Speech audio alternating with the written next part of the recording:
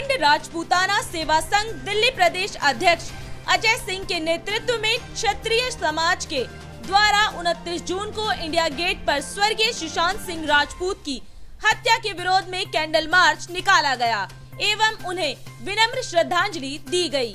यश Raj production, Karan Johar, Salman Khan, Mahesh Bhatt जैसे बॉलीवुड का विरोध किया गया इंडिया गेट से केंद्र सरकार से मांग की गई कि सुशांत सिंह राजपूत मामले की सीबीआई जाँच हो। ये है डीआईडी में खबरें अब तक। इंतज़ार कीजिए शाम तक।